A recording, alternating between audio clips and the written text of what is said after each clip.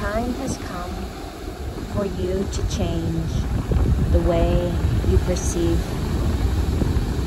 You need to perceive from a new place to ultimately know. You need to perceive from the third eye into where the pineal gland abuts the samsara. This is the path to knowing seeing correctly. It is not the only way, but it is the first step.